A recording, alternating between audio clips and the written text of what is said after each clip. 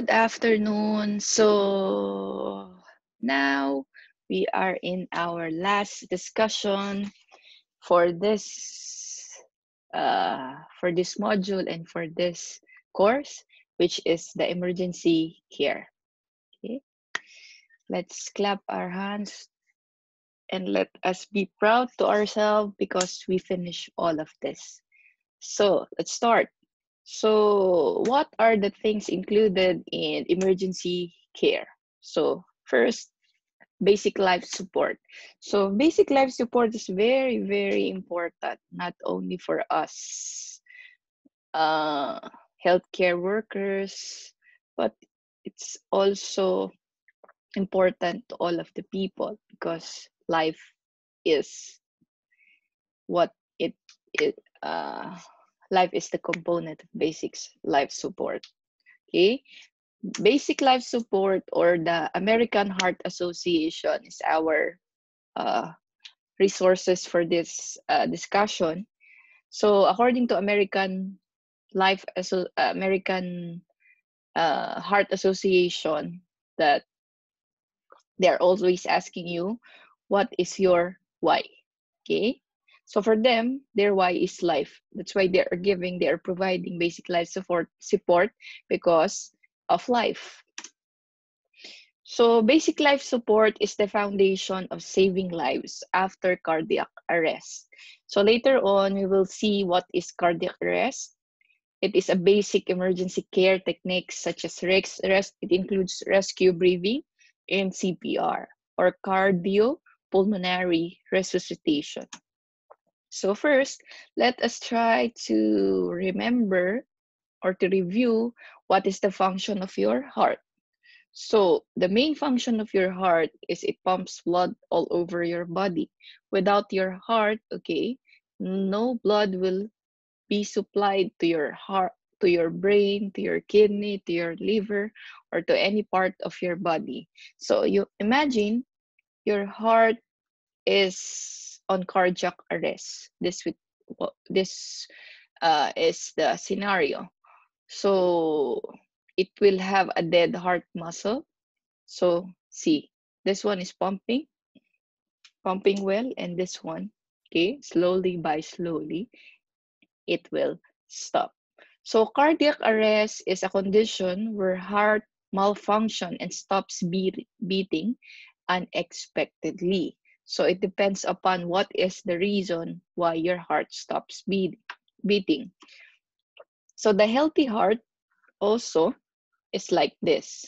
Your heart is being pumped or is being uh, is fun is functioning because of an electricity. Okay, during cardiac elect uh, cardiac arrest, this electricity, okay, is lost. AC. This one is with electricity and this one without electricity. So we have two main reasons why your heart stops beating or you're having cardiac arrest. So it can be plumbing problem or it can be electrical problem plumbing problem, usually you have a plaque in your heart, you have clots in your heart because you have you have you are diabetic, you are hypertensive, you are uh, hyperlipidemic or have high cholesterol level, you are a smoker. So these are usually the pl plumbing problems. Electrical problems are those problems occurring, okay, occurring which affects the electricity of the heart. The nodes the nodes who are responsible for the electrical function of the heart. These are the impaired one. So what are the general concepts in basic life support? We need to know what are the uh, age or the age groups which are given basic life support. First is the adult. Adult it is the age from adolescence and from adolescence to older. Then children, it will be from one year of age to adolescents. So if it's nine months, it's not included in children. One year old up to adolescent or 18 years of age, okay, it will be under children. Infant, less than one year of age, okay? Because based on the age group, that's uh, it differs from the technique of checking the pulse and etc. and doing the CPR itself. So signs of puberty, what are those signs of puberty or uh, adolescence? So in male patient, there will be chest and underarm hair and female patient, there is any breast development. So adult, ad, uh, adult, if your patient is uh, from adolescents and older, so if your adolescent is having chest or underarm hair or any breast development, if she is female, he or she will be considered adolescent.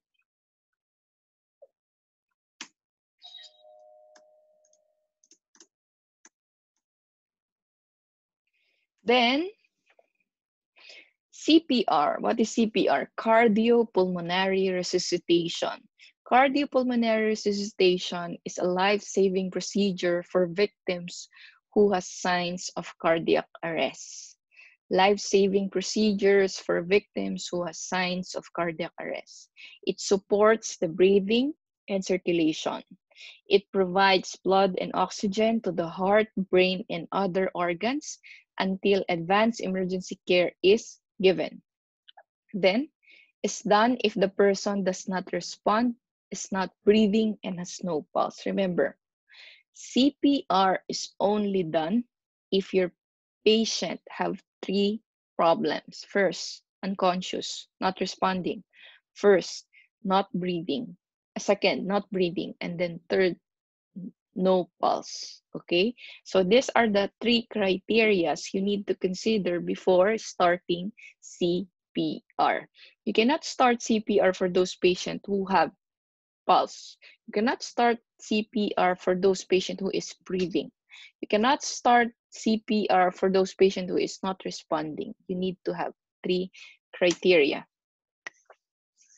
So CPR is as easy as CAB. Before, they are considering ABC, but now they are considering CAB, compression, airway, and breathing. Because according to study, they believe that for compression, okay, if you give compression, you will pump blood all over the body. So your body will have an oxygen.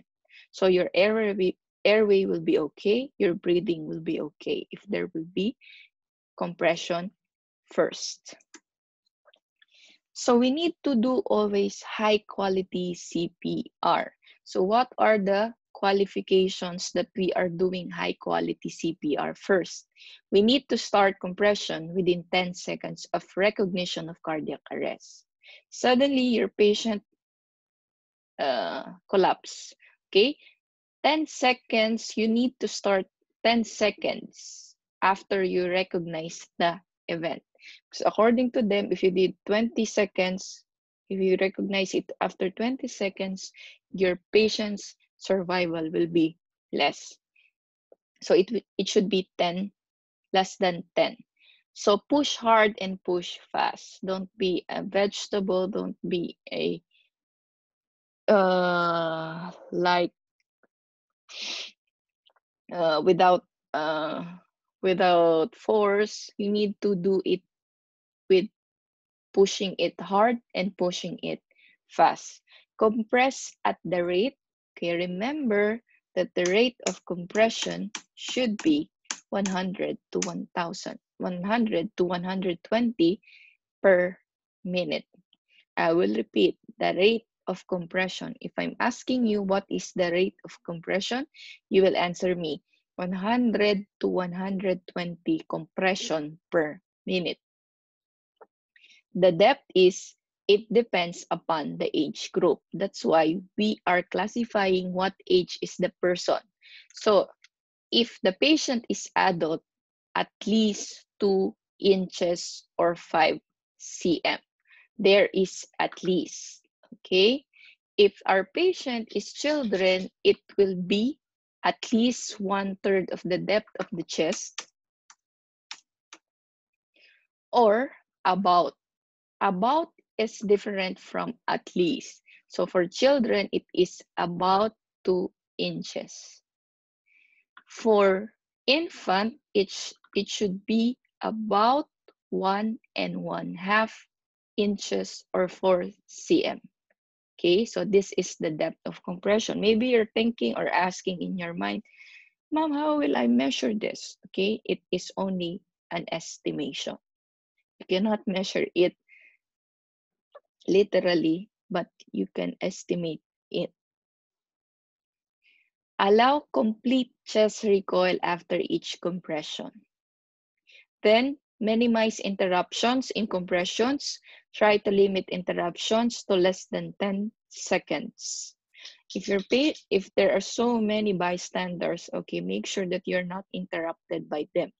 You need to do as much as you can the CPR, okay, without interruptions. Give effective breaths, okay? How you will know that you're giving effective breaths? It should have a chest rise, chest rise. Then avoid excessive ventilation. You need to avoid excessive ventilation because you are giving uh, air to the abdomen. So it's called abdominal inflation. That's why you're thinking your patient is having big tummy or big abdomen because you already put all the air in the world because of your excessive ventilation. So don't do that. Then the adult chain of survival. So let's start with the adult patient. So adult chain of survival, we should always consider or follow these steps, okay, during the recognition. First is recognition and activation of the emergency response system. Recognition and activation of the emergency response system.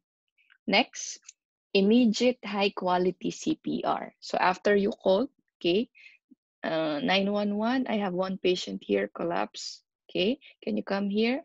Okay, after you called, then you start immediately CPR. Then after that, rapid defibrillation, you ask for help and then let them bring a defibrillator or AED. Then, basic and advanced emergency. Okay, when the ambulance is there, they will take over and they will do what they need to do. Then advanced life support and post-arrest care, the patient is already in the hospital. So for the pediatric, it there will be a difference. Okay, see what is the difference? In the pedia, there is prevention of arrest, and they will start first the compression before calling. As if you notice, they will start the compression before calling. Why?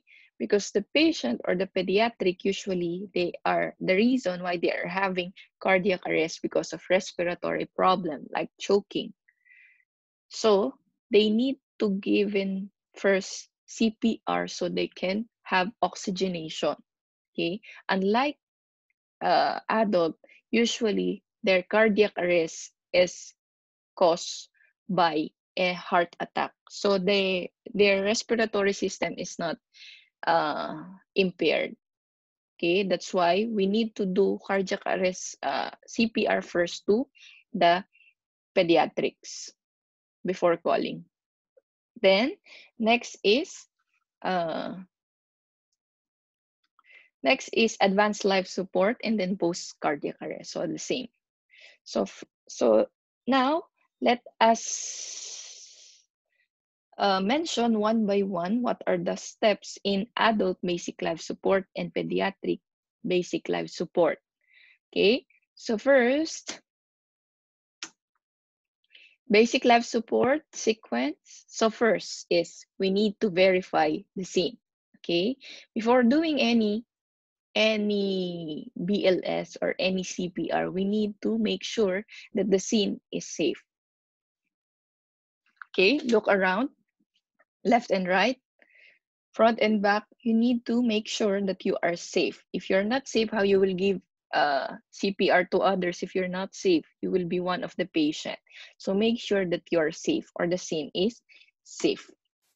Number two is check for responsiveness. Okay, how you will check for responsiveness of the patient.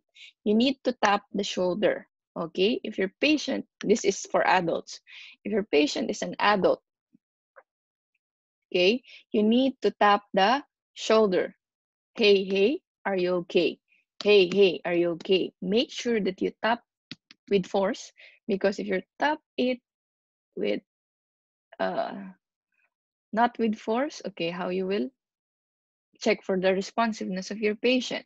So, hey, hey, are you okay? Hey, hey, are you okay?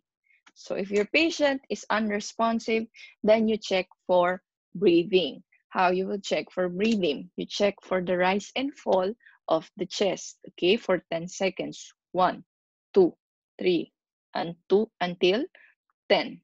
Okay, there are patients who have this, are they are calling it as agonal gasp. Agonal gasp is like the patient is dead already, but he has all only the remaining breath of his life. So you should consider this uh, breath as abnormal breathing or no breathing at all. You should consider as no breathing. Don't consider it as normal breathing. Then activate the emergency response system and ask someone to get an AED. Okay, call any local emergency medical number. If no response and breathing. If no response and breathing, call for help.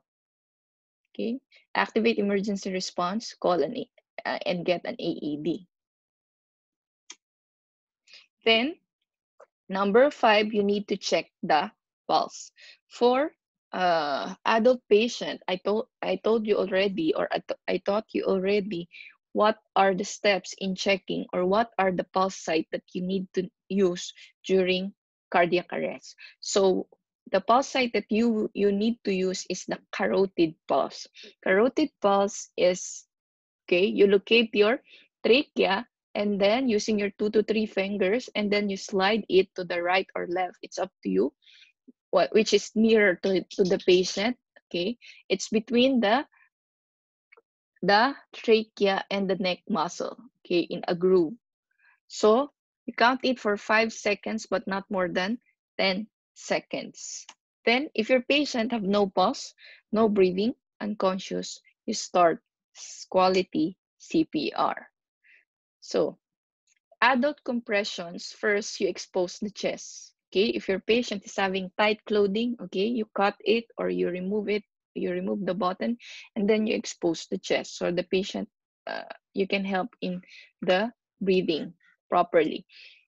Then place in supine position. Make sure that the uh, surface of the patient or the uh, surface where your patient is lying is hard okay or flat surface because you it's it uh the cpr will not be effective if it's uh soft or and it's not flat or hard then count out loud you need to count out loud then what is the rate of compression it should be 100 to 120 compressions per minute it should be high quality compressions okay as as i've told you hand placement on the lower half of the sternum.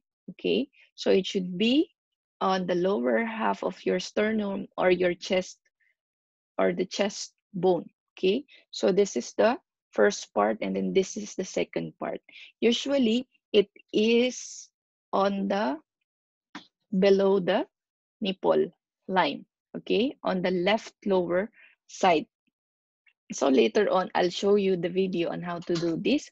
Then compress at least two inches, at least two inches for adults, and then complete recoil after each compression. Then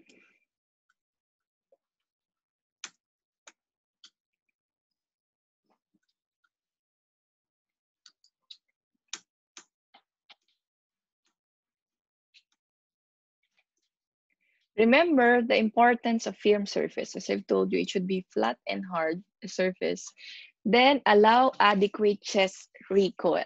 So it means if you push, okay, you allow the chest to recoil or to, go, to return in on its normal position before you push again.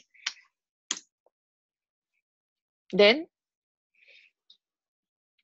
you should give also breaths. There are two ways you can do opening of airway. You can use head tilt chin lift maneuver and you can use a jaw thrust. So the first picture here is the head tilt chin lift maneuver. Okay, this is indicated for patients without spinal cord injury damage. Okay, I will repeat. Head tilt chin lift maneuver is used to those patients who have no injury in the spinal cord. Then the other one is jaw thrust. So jaw thrust is you're not moving or lifting or elevating the chin, but you're just opening the jaw, lower jaw. Okay, so this is used for those patients who have spinal cord injury. To do not further the damage or the injury, they are doing the jaw thrust. So in adult breaths gives two breath with a barrier device. So we are using the pocket mask. Each breath over one second. Then you need to have a visible chest rise with each breath. Resumes compressions in under 10 seconds. So don't give excessive excessive ventilation, but you only give each breath over one second. One,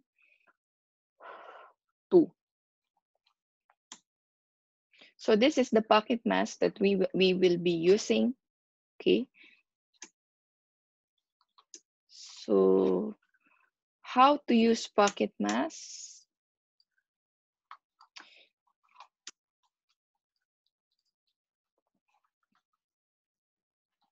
Position yourself at the victim's side.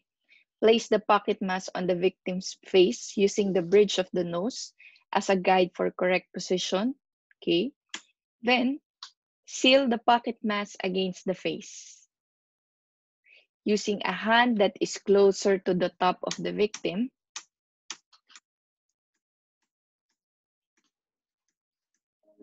Okay, you will see here.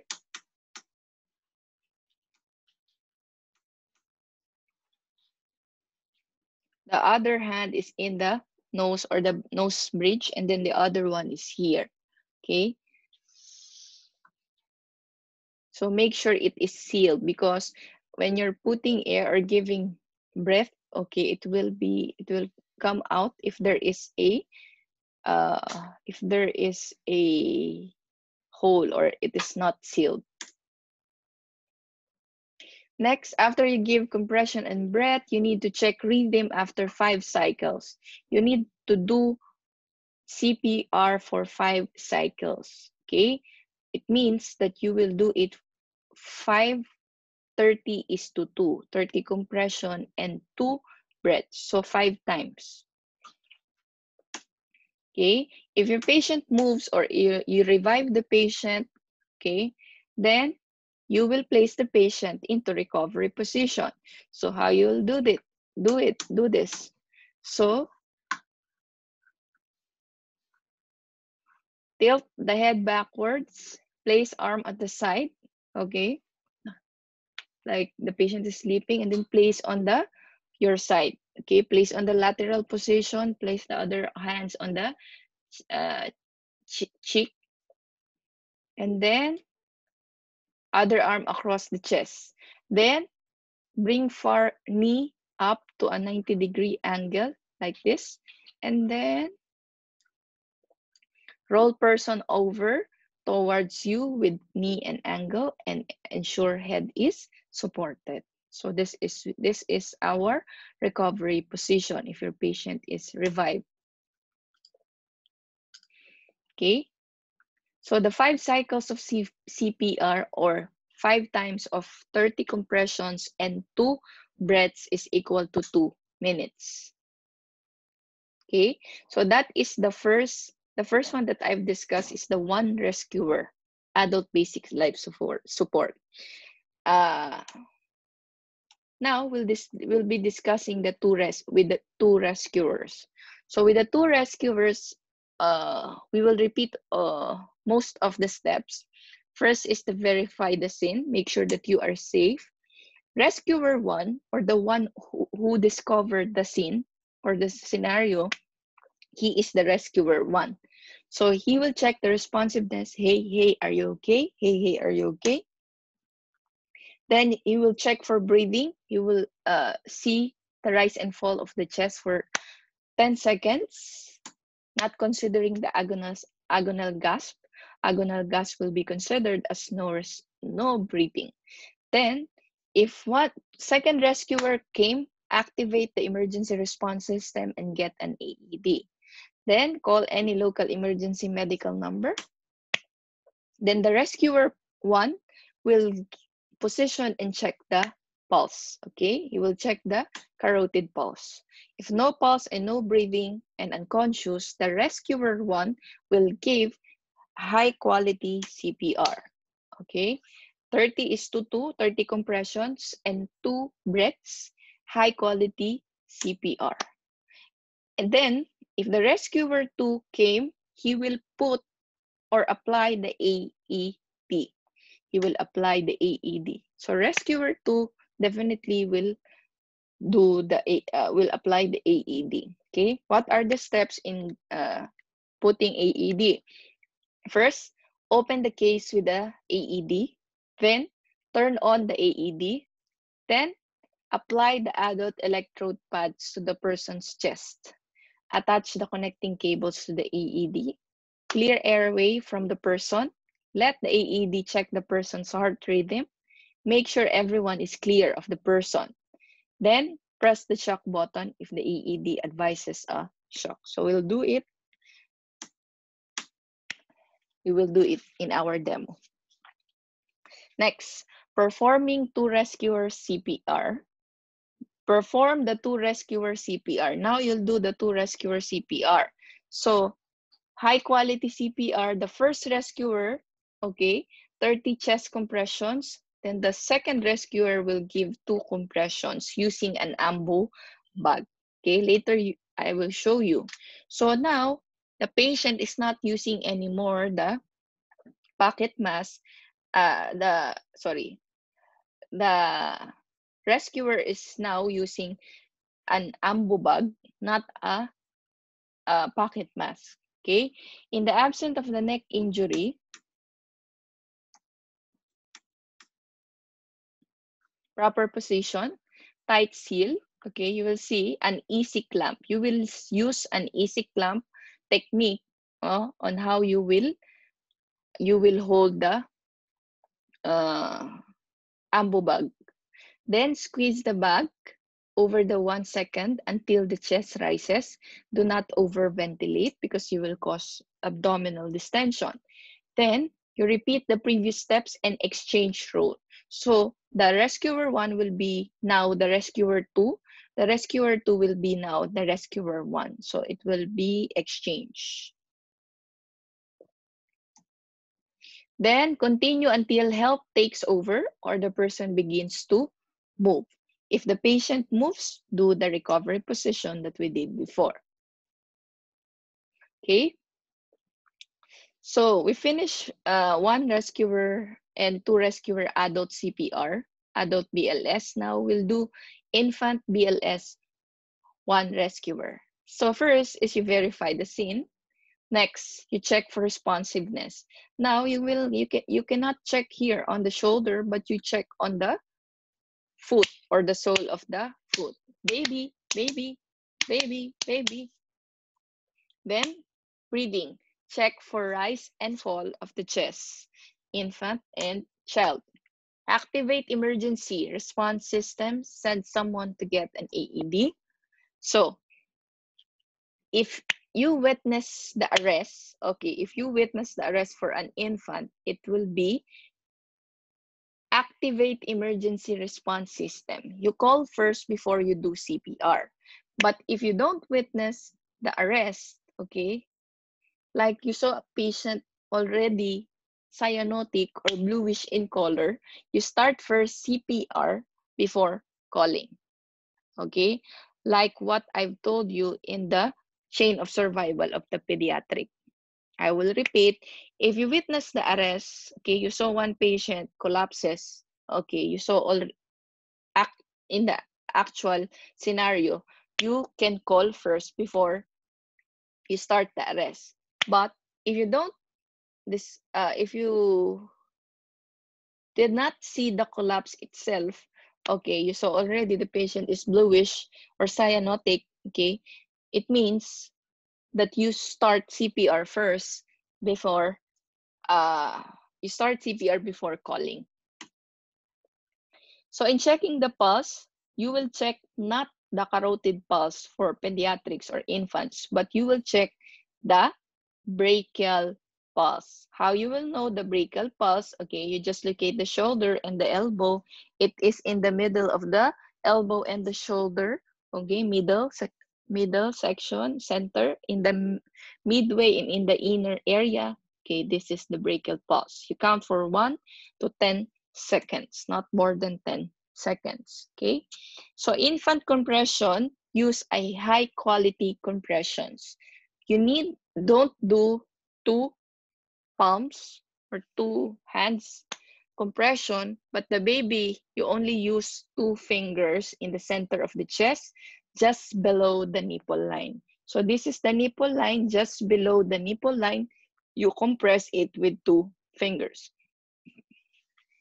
30 compressions in 15 to 18 seconds or 100 to 120 compression per minute.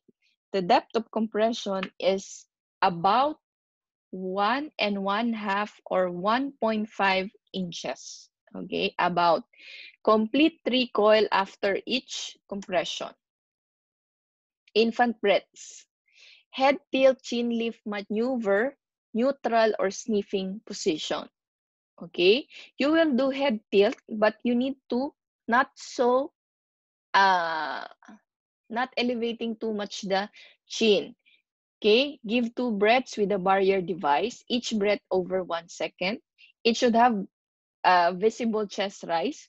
Resumes compressions in under 10 seconds.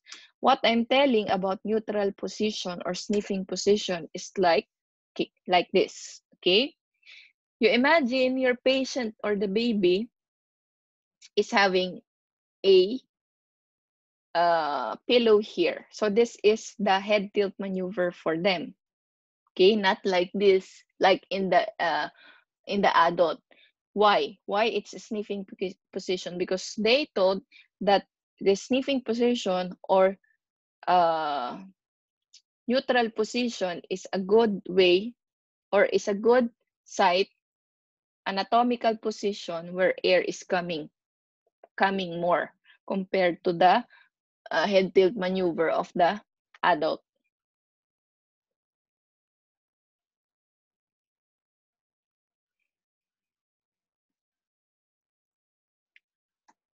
Okay, so the ratio for the baby or the infant is 30 is to 2 also for one rescuer, 2 minutes, and in, it's also 5 cycles.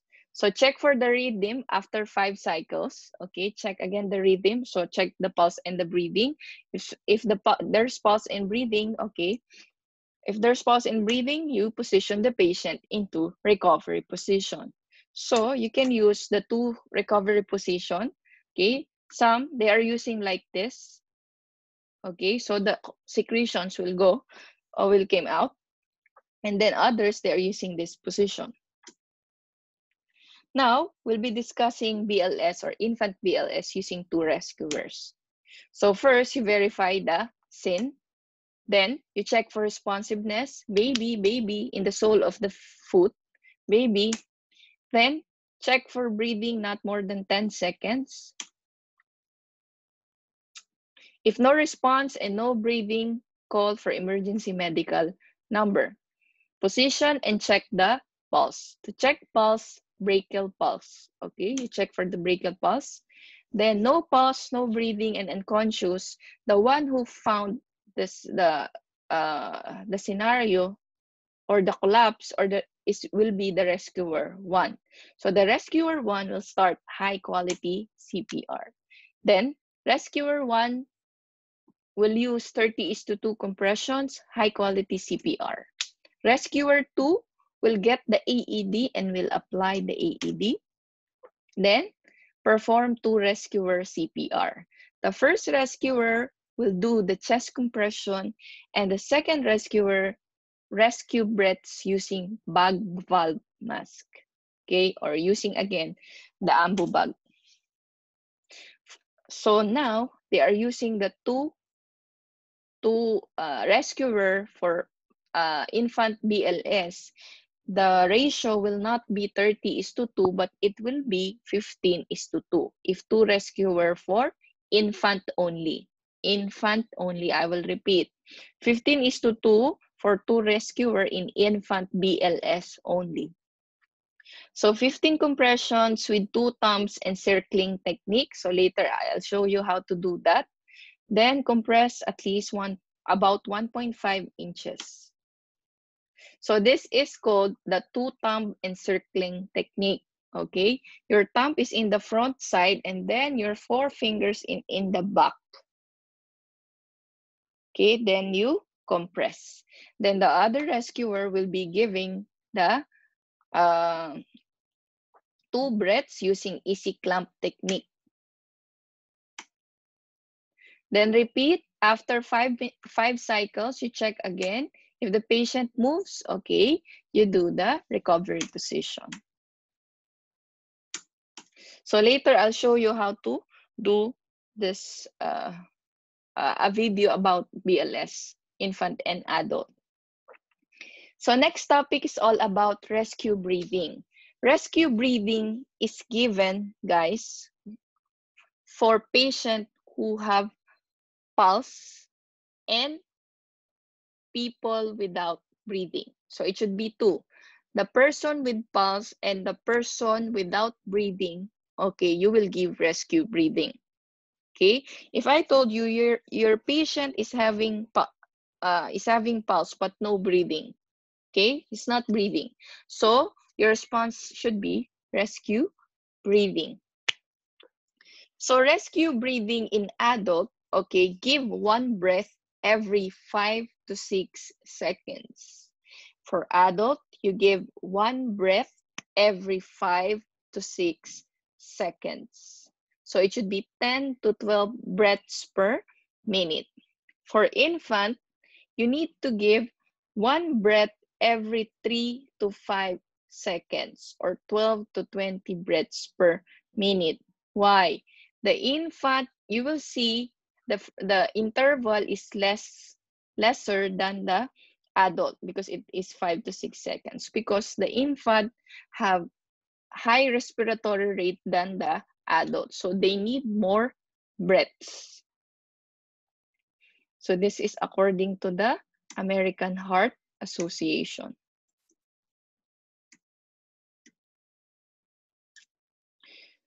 So now let's do the first, uh, let's go with the first aid for different uh, emergency situations. Okay, you found your patient choking.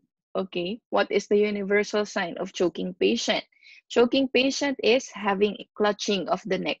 This is the universal sign, clutching of the neck. Clut, uh, choking is obstruction of the foreign bodies in the airway. So this is the sign that the patient is choking. So you will see here, if the patient is choking, this is the respiratory airway, okay? If your food go here instead of here, okay, you will have difficulty breathing. So we have uh, signs uh, or types of obstruction. We have the mild and we have the severe. The difference between mild and severe, in the mild, you can still talk. Okay, in the severe, you cannot talk. Okay. Because it's a severe, it's very blocked. So what are the things you need to do when your patient is having choking? If your patient is adult or child, If your patient is adult and child, you do the Heimlich maneuver or abdominal thrust. I'll repeat. If your patient is adult or child, you do the Heimlich maneuver or abdominal thrust. Okay, how you will do it? You you make a fist. You put this fist on the midsection of the chest chest bone and you locate your umbilical area or the umbilicus then your chest bone here okay? In the middle of this in the middle of this here okay? You put the fist and then you move it upward okay? Until the patient will ex will expectorate the the food. So that is the Heimlich maneuver or abdominal thrust. So if your patient is pregnant, okay, if your patient is pregnant and obese, and you cannot hold fully the uh, the body, so you put your hand on the chest, okay, on the chest where you're putting for CPR, and then you do chest thrust, okay. If your patient is child, you do also a Heimlich maneuver, but you can kneel so you will reach the patient. Then, choking response. If your patient is unresponsive already, okay, unresponsive already, you do or you proceed to CPR. You proceed to CPR, but don't check the pulse because only your patient have is having choking, okay? You do the CPR, but don't check the pulse. Each time you're opening the airway to give breaths, open the victim's mouth wide. Look for any object. If you see an object that can easily be removed, remove it with your fingers. But don't do it if the uh, object is far okay because maybe you will push it more so you can remove it if it's near in the or visible to the mouth already then after that after five cycles and two minutes cpr activate the emergency response system if someone has not already done so if your patient is an infant okay and he or she is responsive you can do the five back blows and five chest thrusts, okay? Five back blows is doing like this, okay? In the shoulder in the shoulder blade of the patient or the baby, you give five back blows and then position the patient five chest thrusts. I'll show you later on. Then, if your patient is already unresponsive, if your patient is already, this is unresponsive, guys. Unresponsive, you do also CPR. Okay. Next, hemorrhage. Hemorrhage is severe uncontrolled bleeding. If you're if you have a big wound sustained from a motor vehicle accident, you can have a hemorrhage. So what you will do if you have hemorrhage? First is you remove any clothing or debris on the wound. Okay. Then you stop the bleeding. How you will stop the bleeding? Okay. The rationale is if there's any bleeding, you put pressure. Okay. So you can control bleeding. If you don't have gauze, you you you, search for any clean clothing that you can put on the bleeding area. Okay, bleeding is a life threatening so you should control bleeding because you will lose more uh you will lose too much uh blood okay remember what is the importance of blood to your body then immobilize the injured part at, as much as possible don't move it immobilize it okay don't move it then put pressure okay until the bleeding will stops then Next is fainting. Fainting is sudden loss of unconsciousness from, from an inadequate blood supply to the brain. Okay. What are the things you need to do in this time? In this time, you will place the patient into the reverse Trendelenburg position. It means that the uh, sorry, Trendelenburg position. You place the patient leg, okay, higher than the head. That is Trendelenburg position. If you cannot place the head or the you don't have an electric bed, okay, you put a two pillows, okay, on the legs. So to make the legs uh, elevated than the uh, heart or the uh, head.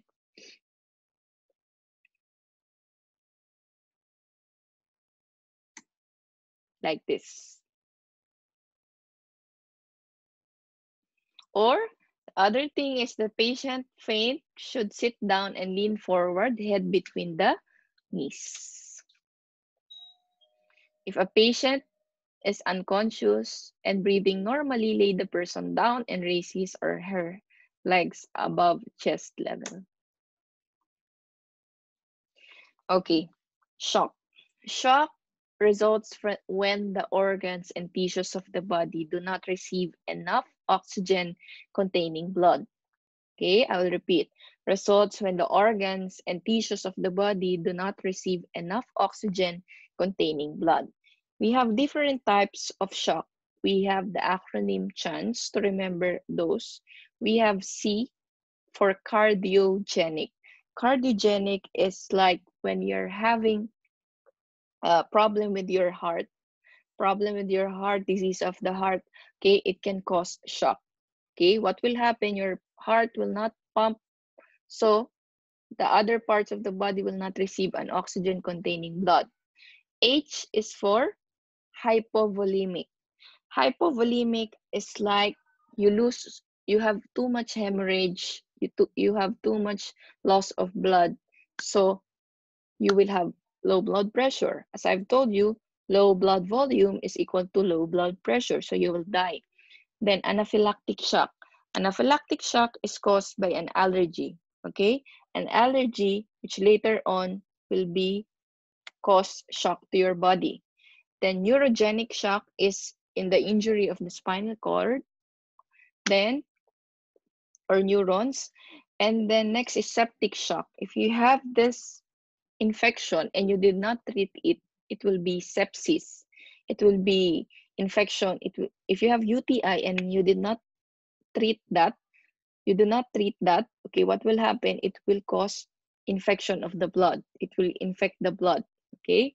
When the blood is infected, it will be system, systemic, okay, all over the body. It will be infectious, infection. There will be infection. So it will be septic shock, okay? All of these types, okay, will have one symptom, same symptoms. They will have decrease or drop of blood pressure or hypo, hypotension. Okay, what are the things we need to do for shock? Okay, as what we did in the fainting, okay, we need only to elevate the, we need to elevate the leg of the patient. For shock and fainting, we need to elevate the leg of the patient. So the blood supply will go back to the heart. Okay, then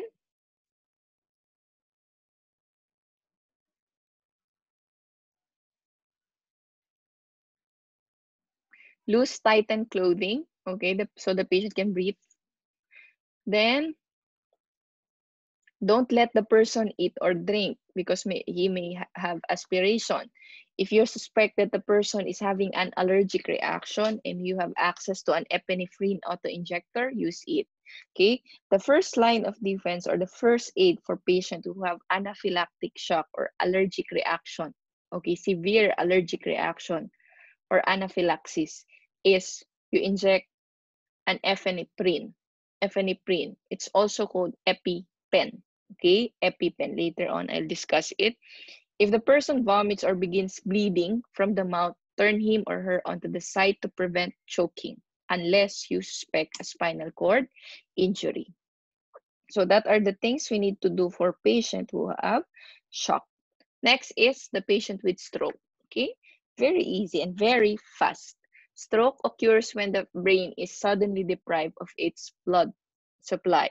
The emergency care for stroke is fast. Okay, remember fast. F is for face is uneven.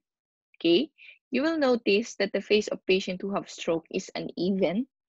A is for arm is weak. Okay, ask him to elevate the arm. Okay, one arm is elevating but the other is not. Then speech is strange or slurred.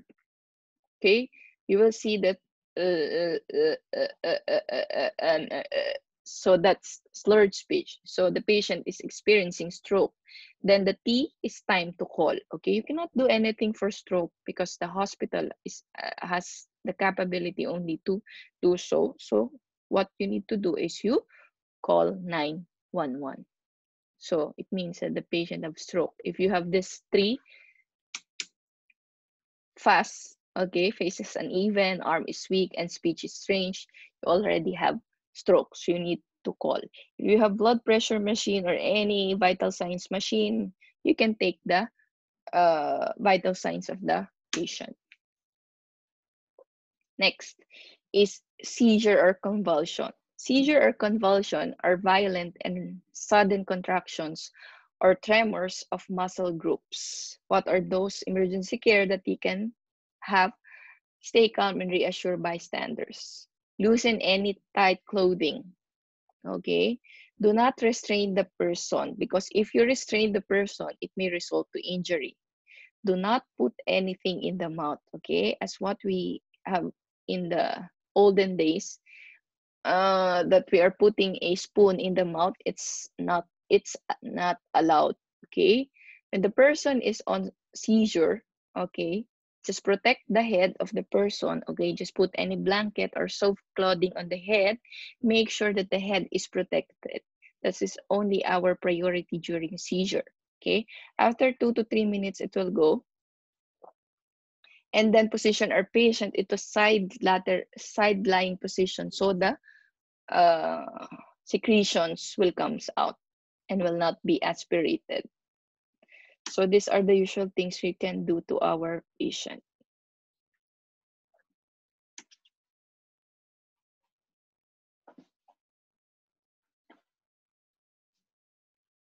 Then we can call for 911 or the ambul ambulance. Burns. Burns are injuries to the skin and possibly the underlying structures, for example, bone and muscle, as a result of exposure to heat, radiation, and electric shock or chemicals. We have three types of burns according it's according to the layers of the skin. The first degree burn is affecting affecting the epidermis.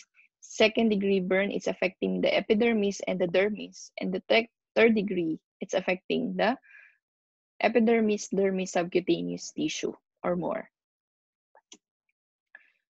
So major burns, what we need to, to do is to protect the burned persons from further harm. For electrical burns, for example, there is a source. We need to remove the, the make sure that the source is uh, power off so we will not have further damage. Then make certain that the person burn burn is breathing. Okay, the uh, we should always consider the breathing for the patient. Then remove jewelry belts and other restrictive items that is burn. Cover the area of burn using a cool, moist bandage or clean clothing. Use a cool, moist bandage or clean clothing for the burned area. Then don't immerse large severe burns in water. Then watch out for signs of shock. If you have first degree burn, okay, you can just uh, wash the burn in a cool water. If you have second degree burn, you can cover the burn area with a clean cloth, uh, rinse with uh, cold water. And then you put a bandage. then third degree burn, it's very serious. So you need to uh, rush the patient in the hospital and then make sure that the patient airway is patent. Make sure to position the patient into uh, what is this? Fowler's position. So he will breathe well. And then the hospital will do or will manage the other things. Then apply, don't break blisters. Usually second degree burn, it will uh, have blisters. So don't uh, break it because it will cause infection. Apply lotion once a burn is completely cooled. Apply a lotion such as one that contains aloe, aloe vera. Then bandage the burn. If needed, take an over-the-counter painkiller because it's painful. If you have epistaxis, epistaxis is nose bleeding. What you need to do is you lean forward. Okay, it's not correct uh, practice or what you believe that you do like this. You lean forward.